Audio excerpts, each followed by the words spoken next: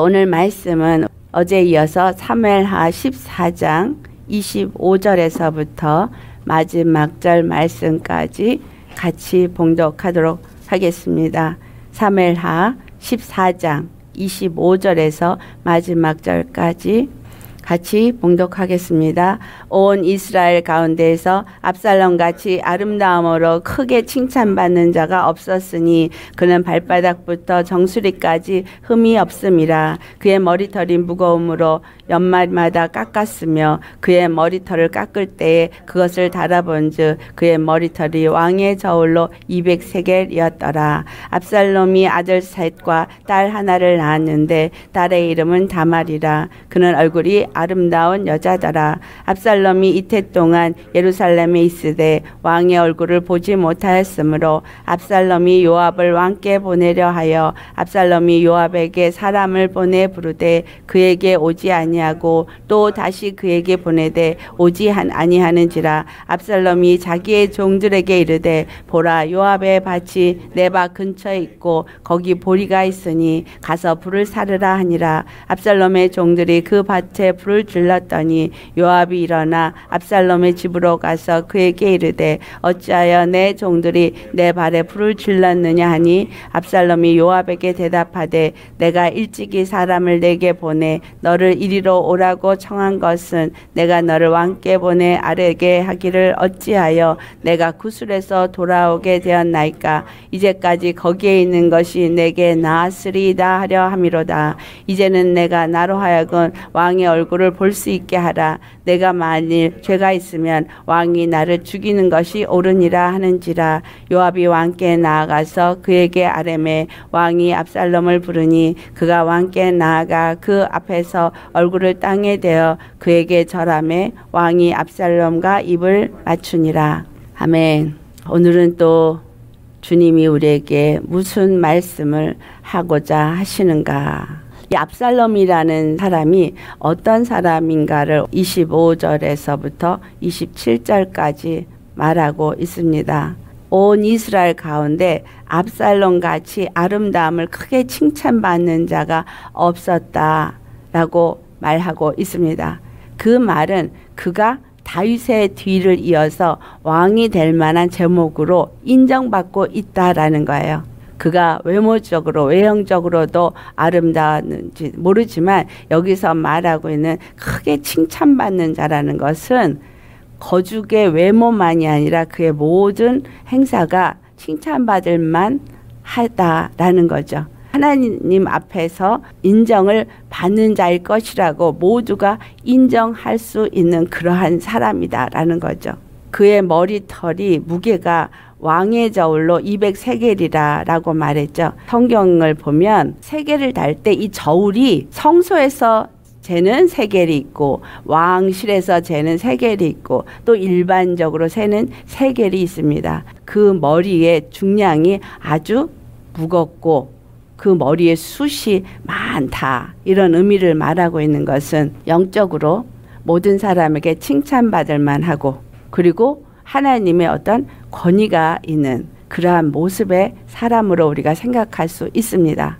그러한 압살롬 모든 사람에게 칭찬받고 권위도 있고 거기에 하나님의 사람이라고 왕권을 이을 사람이라고 다 모두가 인정할 만한 그런 사람이다라는 거예요. 그런데도 불구하고 이 압살롬이 무엇이 문제였느냐라는 거예요. 그는 죄의 용서함을 받고 예루살렘으로 돌아왔으나 2년 동안을 왕의 얼굴을 보지 못하였다라는 거예요. 분명히 다윗 왕이 두고와 여인에게 약속을 할 때 여호와께서 살아계심을 두고 맹세를 했습니다. 11절에 그러면서 내 아들이 머리카락 하나도 땅에 떨어지지 아니하리라고 드고와 여인에게 약속을 합니다. 이 말씀은 무슨 말을 하고 있느냐 하면 그 살인의 죄를 저질렀으나 그 죄가 다 용서를 받고 그 누구도 그 사람을 정죄할 수 없게 하겠다라는 약속의 말씀입니다.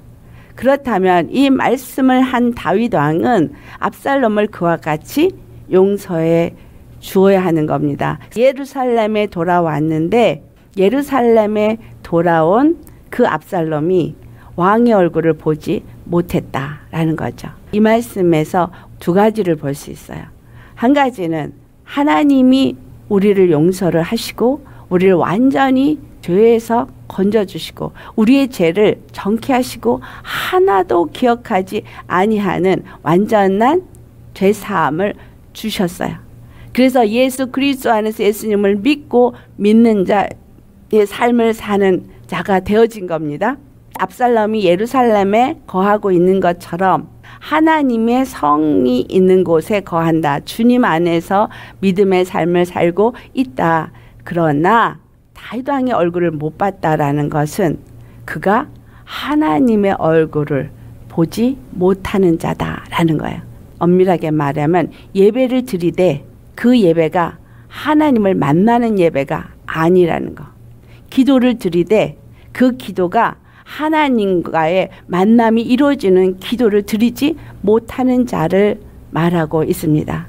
세상에서 볼 때 그는 정말 하나님의 사람이요. 권위가 있는 사람이요. 하나님의 그 영광이 그에게 임하고 주의 종으로 합당하다라고 여길 수 있는 사람이지만 그러나 하나님의 얼굴을 만나지 못하는 내면적인 영적 문제가 있다라는 것을 말하고 있다라는 거예요. 외모가 아무리 아름답고 사람들에게 칭찬받을 만하고 인정받을 만하고 권위가 있어 보인다 할지라도 하나님이 인정하지 않는 사람, 하나님이 만나주지 않는 사람이 되어 있다면 그는 온전히 하나님의 사람이 될 수 없는 겁니다. 예수님을 믿고 예수님을 섬기고 있다면 우리는 반드시 우리의 드리는 예배 가운데 주님의 얼굴을 배워야 해요. 주님의 얼굴을 어떻게 배워? 환상으로 보는 걸 주님의 얼굴을 본다가 아니에요. 여러분 말씀 속에서 말씀을 들을 때 그 말씀이 아멘으로 그 말씀이 받아지고 그 말씀이 내 심령에 만짐을 받게 되고 그 말씀을 들을 때 그 말씀에 의해서 힘을 얻게 되어지고 생명을 얻게 되어지고 그 말씀이 은혜가 되어진다면 그것이 예수님을 만난 거예요.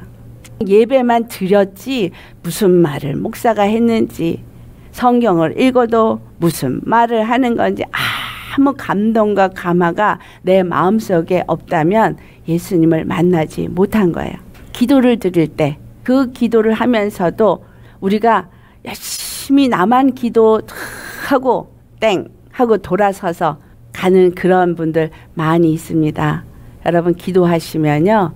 기도하시면서 주님의 감동이 내 안에서 올 때까지 계속 기도하시면서 깊이 깊이 들어가셔야 합니다. 수박 겉핥기식의 기도를 하시는 분들이 제법 많아요. 내가 필요한 것만 기도하고 제일 먼저 기도할 때 주님이 기뻐하시는 기도를 할 수 있도록 구해야 돼요. 성령님의 인도하심을 받도록 구하셔야 합니다. 기도 전에. 그리고 예배도 기도도 다 무엇을 구하셔야 돼요? 반드시 주님 만날 수 있게 해달라고 구하셔야 돼요. 예배 가운데서도 주님 만나는 예배가 되어지고 기도 가운데서도 예수님 만나는 기도가 되어지도록 제가 그런 경험을 해봐서 너무나 잘 알아요. 주님의 영으로 이끌림을 받는 기도가 아닌 껍데기 기도를 할 때 경험을 안 해본 사람은 이게 껍데기 기도인지 깊은 기도인지 알 수가 없어요. 하지만 깊은 기도를 해본 사람이 껍데기 기도를 하면 알아요. 제가 주님 앞에 굉장히 오래된 얘기지만 그 한 번의 그 경험이 저한테 아주 저 자신을 늘 돌아보게 하는 귀한 경험이 됐어요. 그러니까 우리 시 아주버니죠. 시 아주버니가 목사님이세요. 근데 지금 은퇴하셨죠. 근데 그분이 갖고 있는 그 신앙과 제가 갖고 있는 신앙이 다른 거예요. 근데 주님이 저한테 은혜를 부어 주실 때 제가 굉장히 눈물의 기도를 한 두 달을 그렇게 했어요. 정말 회개시키시고 눈물의 기도를 시키셨는데 그러한 기도를 하면서 휴지로 안 되는 거야. 타월을 들고 다녀야 될 만큼 그렇게 눈물로 주 앞에 기도를 했는데 그 목사님이 내가 잘못됐다 그러는 거예요. 그렇게 회개 기도를 하는 건 잘못됐대요. 그 목사님은 자유주의 신학 공부를 하셔가지고 성령 운동 이런 건 전혀 인정을 안 하시는 분이에요. 그러다 보니까 그분한테 볼 때 나는 뭔가 지금 잘못 가고 있다라고 느낀 거예요. 그래서 그렇게 그 목사님하고 한 두 시간을 말을 가지고 이제 신경이를 한 거죠. 그러고 나서 제가 영향을 받은 줄을 몰랐는데 기도를 하는데 깊은 기도가 안 되는 거예요. 눈물이 안 나오는 거예요.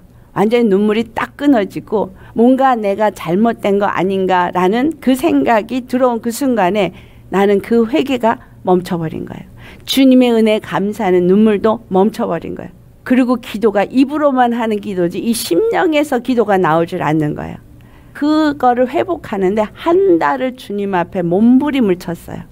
주 앞에 몸부림을 치고 한 달이 되어져서 정말 내 심령에서부터 주 앞에 쏟아내는 기도가 나오기 시작하면서 얼마나 행복한지 그 기도가 이렇게 행복을 주는지는 그때 알았어요.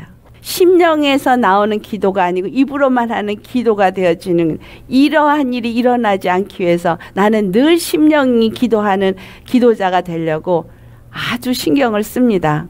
입으로 소리 지르면서 얼마든지 기도할 수 있습니다. 더욱이 방언 받으신 분들 방언으로 기도하면 되니까 그냥 소리 질러서 크게 할 수 있어요. 근데 심령에 아무 감동이 없는 방언 기도 그거는 주님 안에서 하늘의 상달이 안 된다는 거예요. 우리의 드리는 기도는요. 예수 그리스도의 십자가의 피를 의지한 기도일 때 그게 피의 기도가 돼서 하늘을 뚫고 올라갈 수 있어요. 하나님과 우리 사이에 공중 건세자들이 막고 있거든요. 하나님 안에서 정말 그 십자가의 은혜를 내 심령의 감동 가운데서 기도로 올려드릴 때, 그 십자가의 은혜를 통과한 기도가 되어질 때, 그 기도가 주님 앞에 온전히 올라가게 됩니다. 기도 오래 한다고 잘하는 게 아니에요.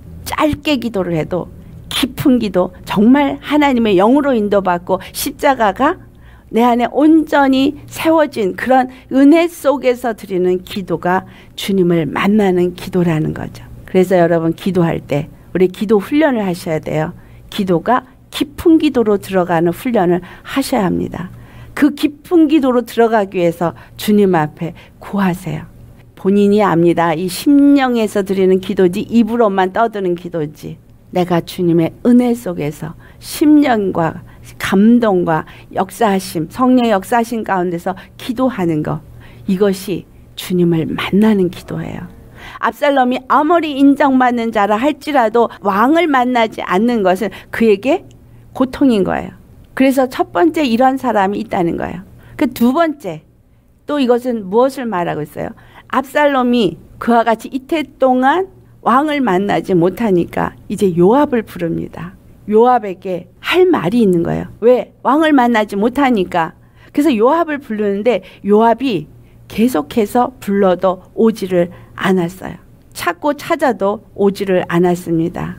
우리가 어떨 때 하나님과 이와 같이 영적으로 주님 앞에 온전한 연결이 되어지지 않습니까?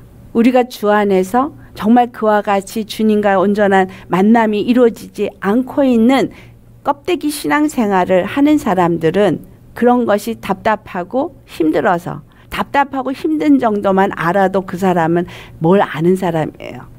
왜냐하면 그 심령 안에서 성령께서 답답함을 느끼게 하거든요.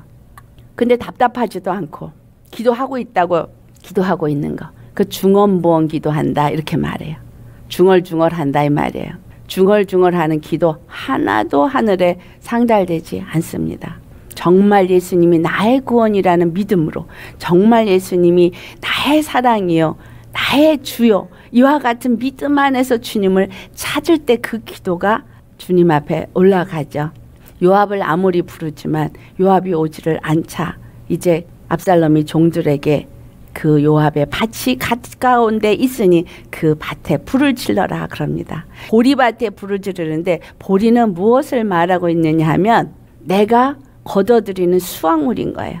걷어들이는 수확물 이것은 어떤 의미를 주고 있느냐 하면 우리가 주님의 일을 할 때 내 사역이 되어지고 내 내가 주님을 위해서 뭔가 일하고 있는 하나님의 일을 하면서 어떤 열매를 거둬들이고자 하는 열심과 노력으로 지금 갖고 가고 있는 내 일인 거예요. 내 사업, 내 사역. 지금 요압은 뭐에만 관심이 있어요? 내 보리밭에. 그래서 그 보리밭에 불이 질러지니까 그때에서야 요압이 찾아옵니다. 우리가 어떤 자가 되었습니까? 분명히 그 드고와 여인에게 입에 말을 넣어 주어서 다윗 왕에게 가서 말하게 한 것처럼 우리가 영혼들에게 말을 넣어서 말을 하게 하신 이가 누구예요? 성령님이세요. 우리가 전도를 해서 영혼들에게 말을 넣어서 말을 하게 하시는 이가 성령이라 이 말이에요. 목사들이 설교를 하는 것은 성령이 말씀을 주어서 설교하는 것이어야 합니다. 예레미야서 1장 9절에 말씀하시기를 여호와께서 내 입에다가 손을 대시고 그리고 내가 내 말을 내 입에 두겠노라 이렇게 말을 하는 것이 기록되어져 있습니다. 그 입에 손을 대고 주님이 말하게 하시니까 말을 하는 거예요. 우리가 우리 임의로 말할 수 있는 것이 아니라 주님이 예레미서 1장 7절에 뭐라고 표현하냐면 내가 이르노니 너는 아이라 말하지 말라고 말합니다. 내가 너를 누구에게 보내든지 너는 가며 내가 내게 무엇을 명령하든지 너는 말할지니라. 예레미야를 통해서 나팔을 불게 할 때 그가 나는 어린데요. 나는 아직 부족한데요. 하지 말라고 합니다. 나는 부족해요. 나는 어려요. 라고 말하는 자가 오히려 하나님 앞에 쓰임 받을 수 있는 자예요. 왜냐하면 하나님이 그에게 입에 말을 넣어서 말을 하게 하기 때문이지 우리가 임의로 말을 만들어서 할 수 있는 것이 아니기 때문입니다. 설교를 내 임의로 내가 만들어서 하면 그것은 내 말이 나오는 거예요. 내 마음에 있는 게 나오고요. 하나님이 내 입에 말을 넣어서 그 주신 말을 전하는 자라면 그 말씀은 하나님께로부터 온 말씀이요. 그리고 하나님의 영혼에게 주고자 하는 말을 하는 것이기 때문입니다. 요압이 예루살렘으로 압살롬은 데리고 왔어요. 그런데 데려다 놓은 걸로 끝이다 이 말이에요. 무슨 말이에요? 교회에 데리고 와서 전도에다 놓으면 끝이냐 말이죠. 그 영혼이 하나님을 만날 수 있게 해줘야 되잖아요.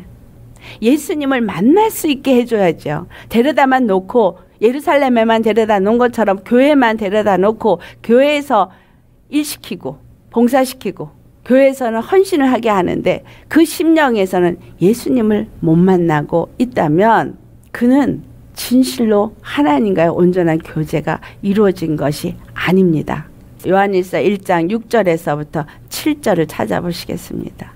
요한일서 1장 6절과 7절 말씀 같이 봉독합니다. 만일 우리가 하나님과 사귐이 있다 하고 어둠에 행하면 거짓말을 하고 진리를 행하지 아니함이거니와 그가 빛 가운데 계신 것 같이 우리도 빛 가운데 행하면 우리가 서로 사귐이 있고 그 아들 예수의 피가 우리를 모든 죄에서 깨끗하게 하실 것이요. 아멘.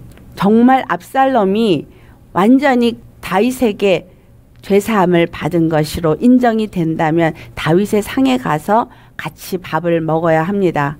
우리가 예수님 안에서 정말 깨끗하게 죄사함을 받았다면 예수님과의 깊은 만남의 은혜가 우리 심령 속에서 있어야 하는 거예요. 압살롬이 지금 다윗을 만나지 못하는 것은 온전한 용서가 이루어지지 않은 거죠. 바꿔서 말하면 우리가 예배를 드리고 교회 생활을 하고 믿음이 있다라고 생각하지만 정말 깊이 예수님을 만나지 못하는 것은 내 심령 안에 온전히 예수님이 100% 나의 주가 나의 구원주가 되지 않았기 때문이라는 거예요. 내 심령에 입으로는 주님의 이름을 부르지만 그러나 내 심령에 뭔가가 자리 잡고 있는 거예요. 여기 지금 말한 것처럼 정말 우리가 하나님과의 사귐이 있다면 어둠에 행하지 않는다는 거예요. 거짓말을 하고 진리를 행하지 아니하는 건 어둠 가운데 있는 거예요. 내가 믿음이 있는 척 그러면서 한 입에서 찬송과 저주가 나오고 쓴물과 단물이 동시에 나오는 거. 사귐이 있다고 하나 그것은 사귐이 온전히 있는 것이 아니라는 거죠. 껍데기 신앙생활이다 이 말이에요. 온전히 정말 내가 예수님을 믿고 예수님 안에서 주님과 깊은 사귐이 있다면 정말 성령 안에서 성령의 이끌림을 받는 자라면 반드시 압살롬이 다윗 왕을 봐야 하는 것처럼 우리가 예수님을 만나야 하는 거예요. 주님과 만남이 있어야 합니다. 그 만남이 없으면 사모하고 사모하고 예수님을 만나지 않으면 나는 죽음이기 때문에 나의 구원이 예수님이 있기 때문에 나는 예수님을 만나야 되고 예수님의 영이 이끌림을 받지 않으면 나는 안 되기 때문에 그 성령의 이끌림을 받기 위해서 주 앞에 구하고 구하고 구하고 찾아야 되는 건 거예요. 빛 가운데 있다고 하면서 그 빛 가운데 행하지 않는다면 예수 그리스도의 피가 죄 사함을 한 게 아니라고 말합니다. 내가 예수 그리스도의 피로 죄사함을 얻었다면 완전히 죄사함을 얻은 자유와 평강이 내 마음속에 있어야 하는 거예요. 무엇 때문에? 믿음 때문에. 예수님이 나를 완전히 자유케 하셨다는 믿음이 있으면 그저 모든 것에서 자유해야 되는데 머리로는 그렇대. 그런데 내 마음에서는 진정한 자유를 누리지 못해요. 왜? 내가 나를 정죄하고 있거든. 그리고 내가 다른 사람을 정죄하고 있거든요. 지금 요압이 압살롬을 예루살렘에다 데려놓은 것처럼 교회에다가만 데려다 놓으면 함께 예배 속에만 있으면 그 사람이 예수님을 만난 거냐라는 거예요. 그 예수님을 만나게 하는 건 예수님이 당신의 어떤 외모, 당신의 어떤 행함, 당신의 어떤 잘한 선한 일 때문에 날 사랑하는 것이 아니라는 것을 깨트려 줘야 해요. 알게 해 주어야 합니다. 여러분 자신에게 그것을 알게 해 줘야 돼요. 내가 뭘 잘해서 주님이 날 사랑하는 게 아닌 거예요. 내가 뭘 잘해야 주님이 날 사랑하는 게 아니라 주님은 있는 그대로의 나를 사랑하기로 작정하셨어요. 여러분 믿으십니까? 여러분 그대로를 그냥 사랑하기로 작정하신 거. 그냥 용납하시고 그리고 나를 무조건 사랑하시기로 작정하신 거. 예수님이 흘리신 십자가의 보혈은 그냥 사랑하시는 사랑이에요. 우리의 믿음은 이 사랑에 의심 없으신 믿음이어야 합니다. 압살롬과 요압의 관계를 통해서 아주 중요한 걸 가르쳐 주십니다. 믿음 안에 있게 한다고 해서 믿음이 있는 것이 아니라 한 영혼을 주 앞에 나오게 전도를 했다면 그 영혼이 예수님을 깊이 만날 수 있을 만큼 그를 이끌어야 합니다. 그에게 반드시 예수님을 만날 수 있게끔 해 주어야 해요. 어떤 행위적인 신앙생활이 아니라 정말 예수님이 나를 사랑하신다는 것을 그에게 가르쳐 주어야 해요. 인도해 주어야 합니다. 인도해 주고 만나게 해 주어야 한다는 거예요. 제가 여러분에게 예수님이 얼만큼 사랑하는지 의심하지 말고 그냥 믿으시라는 거를 말하는 거예요. 그냥 믿으세요. 우리가 뭘 잘해서 사랑하는 게 아니라 그분은 우리를 그냥 죄에서 건져주시고 죄 없다 하시고 우리를 정케 하시고 그리고 그분의 품 안에서 그 사랑을 누리게 하기를 원하시는 분이에요.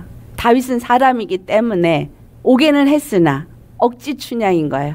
성도 성도들을 맞이할 때 할 수 없이 상황이 그러니까 받아들이거나 그래서 받아들이긴 하는데 그 사람하고 같이 교제하기는 싫어.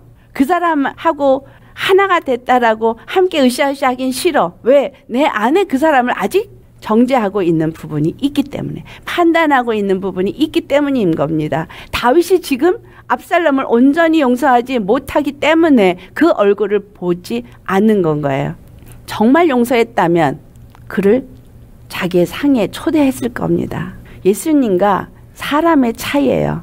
예수님은 우리를 무조건 용서하시고 죄 없다 하셨어요. 그 죄가 어떠한 죄일지라도 그 허다한 죄를 다 용서하셨다라고 분명히 말하고 있습니다. 네 죄는 크고 내 죄는 가벼워서 나는 용서받고 너는 아니냐 이거죠. 그래서 만 달란트 빚진 자와 백 데나리온 빚진 자의 비유를 예수님께서 하신 거예요. 주님 안에서 용서는 똑같은 용서다.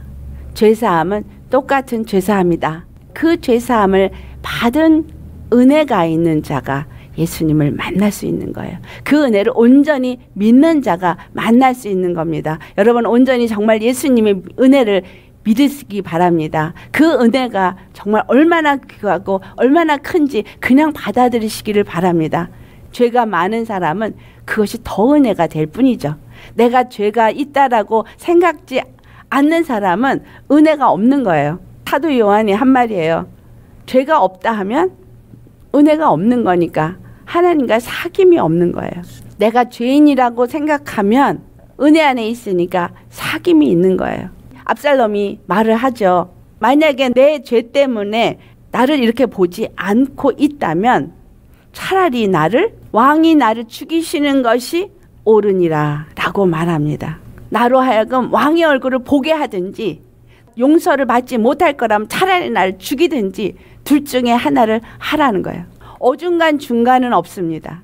주의 얼굴을 보든지 아니면 심판에 처하든지 다른 영혼을 바라볼 때도 그를 완전히 용서하든지 아니면 아예 안 보든지 둘 중에 하나인 거예요. 할 수 없이 얼굴을 보면서 속에서는 정죄하고 있으면 그거는 아니라는 거예요. 내가 복음 안에서 용서받았으면 다른 사람도 복음 안에서 용서받은 사람입니다. 내가 저울에다 놓고 저울질을 하면 안 돼요. 이와 같은 압살람의 공고함과 고통과 아픔의 영혼들에게 있는 것을 돌아보는 우리가 되어야 합니다. 그가 고통 가운데서 고통하되 그 고통이 나의 고통이 되어지고 그 고통을 같이 하나님 앞에 신원해서 하나님이 그 고통에서부터 그를 건져주는 구원의 역사가 있도록 해야 되는 것입니다. 요압은 예루살렘에만 데려다 놓고 그 다음에는 I don't care 돌아보지 않았어요. 압살롬이 왕을 만나지 못하는 게 이태가 되도록 그는 거기에 관심이 없었어요. 결국 그가 관심을 갖고 있는 그 보리밭에 불을 지르니까 그때서야 요압이 쫓아왔어요. 내 교회, 내 사역, 내 일, 내 사업, 내 가족, 내 거는 아주 열심히 챙겨요. 내 자식, 내 식구들, 내 거니까, 내 소유니까. 이거는 너무 신경을 쓰는데 다른 사람은 돌아보지 않는 거. 이거는 예수님의 마음이 아닌 거예요. 예수님의 마음은 영혼을 돌아보고 그 영혼 추수가 중요해요. 그래서 목사님들이 사역은 아주 열심히 하고 내 교회는 부흥시키고자 하고 열심히신데 문제는 실질적으로 그 영혼들이 갖고 있는 고통은 돌아보지 않는 거가 문제다 이 말이에요. 영혼들의 숫자는 늘어날지 모르지만 그래서 교회는 팽배해지고 뭔가 그냥 근사하게 교회는 아름답게 지어지고 뭔가 칭찬받고 있고 어떤 명성을 얻는 그러한 교회가 될 수 있을지 모르지만 그 영혼 하나하나가 예수님을 만나지 못하는 그 고통 속에 있는 것은 돌아보지 않는 것 이것을 또한 여기서 말해주고 있다라는 겁니다. 이것이 나에게도 똑같은 문제인 것입니다. 얼마만큼 우리는 내 심령이 예수님을 만나는가? 또 내 옆에 있는 내 형제 자매가 얼마만큼 예수님을 만나는가? 그래서 함께 예수님 안에서 예수님을 만나고 함께 예수님께 찬양을 하고 함께 예배하고 함께 그 영광 가운데 나아갈 수 있게끔 하기 위해서 내가 얼마만큼 그 영혼에 관심을 갖고 중보하고 있는가라는 거예요. 요압을 통해서 우리에게 가르쳐주는 너무나 귀한 말씀입니다. 영혼들의 어떤 문제점이 있는 것을 아는 게 있으면 서로 그것을 나누면서 기도할 수 있어야 돼요. 목사 앞에 가면 성도들이 어려워서 자기 얘기를 별로 못해요. 아니, 목사한테 가서 그 얘기를 털어놓지 않으면 도대체 어디 가서 털어놔요? 목사한테 털어놔야 목사가 열심히 그 영혼을 위해서 기도할 거 아니에요. 영혼을 양머리를 치라고 주께서 붙여주신 거잖아요. 그래서 목자는 양을 돌아봐야 되고 양은 목자를 의지해야 하는 것이고 문제가 있을 땐 그 문제를 상담하고 그리고 그런 것들을 내어놓을 때 그것을 마음에 품고 기도하고 하나님의 은혜 역사가 그들 심령 속에 있게 하는 그것이 목자와 양의 관계입니다. 여러분 예수님한테 여러분의 그 문제를 낱낱이 숨김없이 솔직하게 다 토해내세요. 기도 가운데. 제가 어떻게 기도한 사람이냐면 주님은 다 아시니까 그러고 이렇게 가려두고 이런 거를 뭘 주님한테 물어봐. 뭘 주님한테 이런 것까지 기도해. 이 정도만. 그리고 큰 거, 이런 것만 기도했어요. 주님은 우리의 모든 것까지 낱낱이 아시지만 그러나 그 모든 것을 주 앞에 구하는 자가 되기를 원하십니다. 내 마음에 나의 왕, 나의 주를 만나고자 하는 마음에 간절함을 원하신다라는 거예요. 내 문제 속에서 그분을 만나기 위해서 그분의 도움을 받고 그분이 내게 임하시고 그분이 나에게 말하시고 나에게 역사하신 걸 경험하려면 시시콜콜 예수님 앞에 내어 놓으셔야 하는 거예요. 주님은 나의 주님이십니다. 나의 구원이십니다. 그러놓고 입 딱 다물고 있는 사람, 주님과의 교제를 원하지 않는 사람이에요. 정말 주님과 교제를 원하면 작은 거 하나까지도 예수님 앞에 다 기도하시기를 축원합니다. 압살롬이 간절함으로 요압의 밭에 불을 지를 만큼 우리가 기도하지 않으면 기도할 거리를 만들어 주십니다. 그거 아세요? 예수님을 만나야 하니까 주님의 은혜를 알아야 하니까 그냥 세워라 내워라 이러고 살고 있으면 기도거리가 찾아옵니다. 그 기도거리가 찾아오는 건 주님이 나 너한테 나타나고 싶어. 나 너에게 일하고 싶어. 그 사인이에요. 그러니까 열심히 예수님을 일하게 시키세요. 천사가 일할 거리를 갖고 왔다 갔다 해야 되는데 도무지 일할 거리를 내어놓지 않으면 하나님 앞에 갖다 놓을 게 없잖아요. 그래서 여러분 기도하는 것을 쉬는 죄를 범하지 마십시오. 예수님 앞에 다 기도하고 올려드리고 또 서로가 기도할 수 있도록 우리가 내어놓으면서 나의 답답함과 나의 간절함과 나의 문제점들이 우리가 함께 기도하며 이루어 나갈 수 있도록 주님이 일할 수 있도록 내어 드릴 수 있으면 좋겠습니다. 요압이 자기가 중요하게 여기는 것이 불에 타지니까 도대체 이 일을 왜 했느냐 그러고 쫓아왔을 때 압살롬의 말을 듣고 그가 다윗에게 가서 말을 하니까 다윗 왕이 압살롬을 불러서 그의 앞에 나아가서 그의 땅에 얼굴을 대고 압살롬이 다윗과 함께 입을 맞추는 만남의 역사가 이루어졌습니다. 예수 그리스도 안에서 무엇을 해야 하느냐? 하나님의 원하시는 것을 찾아 행할 수 있는 자가 되어야 합니다. 우리 마지막으로 고린도전서 10장을 찾아보시겠어요? 고린도전서 10장 말씀 23절과 24절 말씀 먼저 봉독하시겠습니다. 모든 것이 가나 모든 것이 유익한 것은 아니요 모든 것이 가나 모든 것이 덕을 세우는 것은 아니니 누구든지 자기의 유익을 구하지 말고 남의 유익을 구하라. 아멘. 자, 33절 말씀. 나와 같이 모든 일에 모든 사람을 기쁘게 하여 자신의 유익을 구하지 아니하고 많은 사람의 유익을 구하여 그들로 구원을 받게 하라. 아멘. 요압이 자기의 유익을 구하는 거에만 집중되어져 있는 것처럼 우리는 정말 나의 유익만을 구하는 자가 아니라 예수 그리스도가 모든 사람과 함께 하나로 지어져 가게 한 것처럼 하나님의 뜻이 내게서 이루어질 수 있도록 모두가 함께 기뻐할 수 있는 건 어떨 때 기뻐할 수 있어요? 예수님을 만날 때. 예수님을 만날 때 기뻐할 수 있어요. 고통 가운데서 건짐을 받을 때 기뻐할 수 있어요. 그러니까 영혼들이 기쁨을 누릴 수 있도록 예수님을 만날 수 있도록 고통 가운데서 벗어나는 구원의 역사가 있을 수 있도록 우리 같이 기도해야 하는 거예요. 우리 안에서 중요한 것이 무엇입니까? 압살롬은 사람들한테 칭찬받는 자였어요. 예루살렘에도 거했죠. 왕자의 자리에도 있죠. 아들이 셋에 딸이 하나인데 딸도 아름다워. 다 가진 것 같아요. 그런데 왕을 만나지 못하고 있다라는 거예요. 마태복음 16장 26절에 예수님께서 하신 것처럼 사람이 만일 온 천하를 얻고도 제 목숨을 잃으면 무엇이 유익하리요? 사람이 무엇을 주고 제 목숨과 바꾸겠느냐. 우리가 예수님을 만나지 않으면 생명이 없는 거죠. 예수님을 만나야 생명이 있는 거예요. 매일의 삶 속에 예수님을 만나야지 그 생명을 얻지 못하면 내 영의 목숨이 없는 거예요. 이 세상에 이 목숨이 끊어지면 아무것도 아닌 것처럼 내 심령에 예수님의 생명이 없으면 아무것도 아니라는 거예요. 그래서 예수 생명이 나에게 필요한 겁니다. 그리고 그 다음에 27절 말씀에 다시 오신다고 말하시고 각 사람에게 행한 대로 갚아 주리라고 말씀하십니다.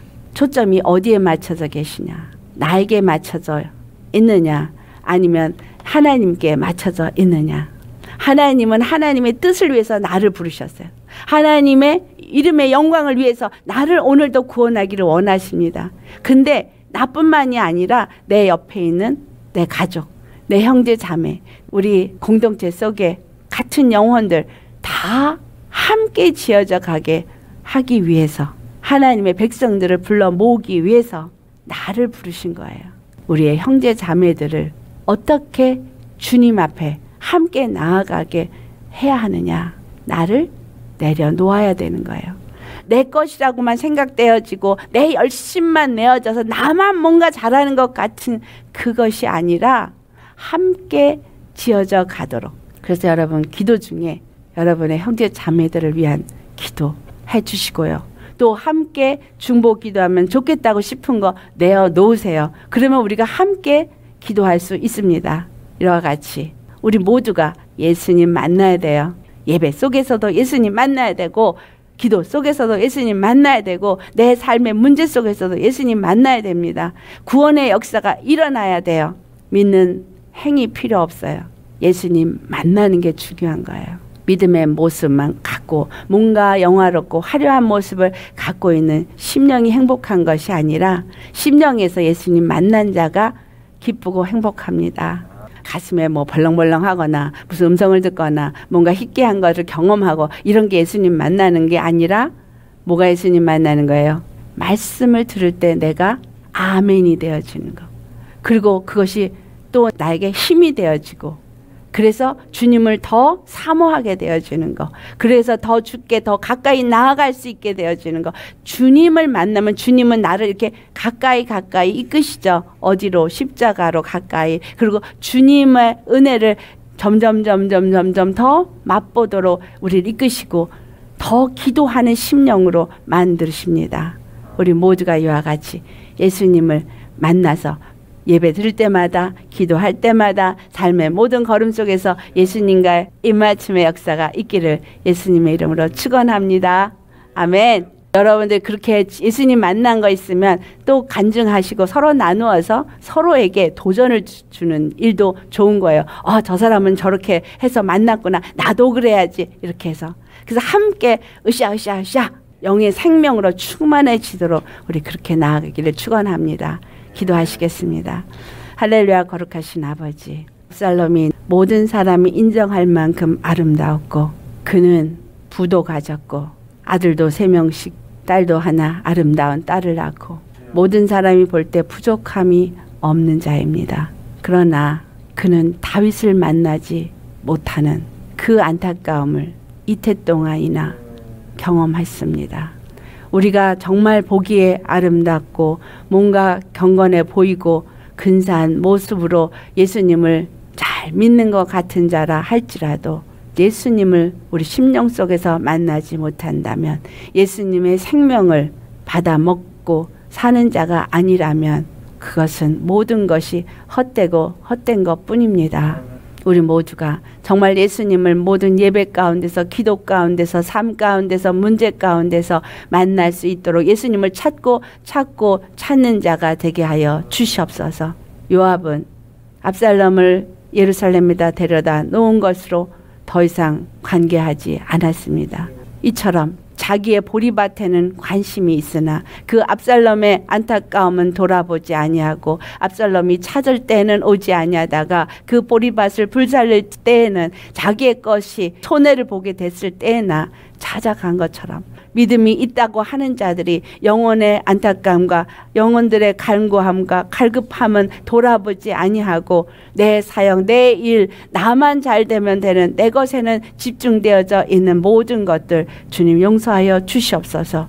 주 안에서 정말 우리 모두가 서로를 돌아보고 영혼들을 돌아보고 그래서 그 영혼들이 예수님을 함께 만나서 우리가 함께 예수님 안에 나아가고 함께 예수님의 이름으로 기도하며 주님을 향해서 세워질 수 있는 온전한 그리스도의 교회가 되어 질 수 있게 하여 주시옵소서.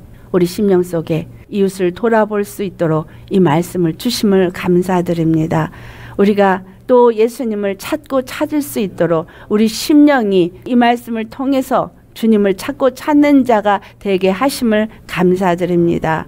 아버지 안에서 함께 주님을 찾아 나아가는 자가 되게 하옵시고 함께 주님의 구원의 손길을 구하는 자가 되게 하옵시고 함께 주 안에서 그래서 주님과 입맞춤을 모두가 삶 속에서 경험하면서 주님과의 사귐이 있는 자가 되어져서 죄에서는 완전히 사함을 입고 정결함을 입고 주님과의 그 만남의 역사가 늘 있어서 빛 가운데서 거룩함으로 지어져 갈 수 있는 우리 모두가 되어지기를 간절히 소망하며 우리와의 사귐이 하나님과의 사귐이 있도록 우리 중보가 되신 예수님의 이름 받들어 감사하며 기도드리옵나이다.